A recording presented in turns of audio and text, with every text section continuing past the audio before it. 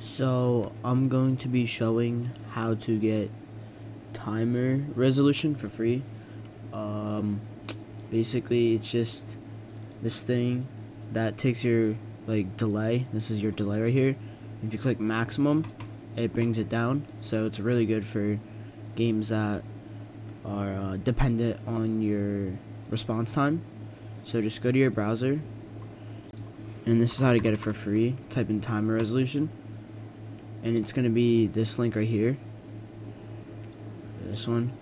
And you're not gonna click this. You're gonna come down here.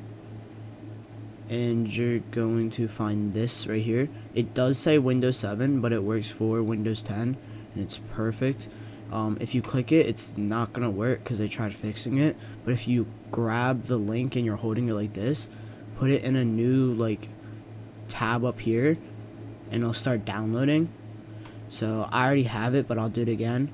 And you have to have WinRAR for this. If you don't have it, just look up WinRAR and uh, download that, but I already have it.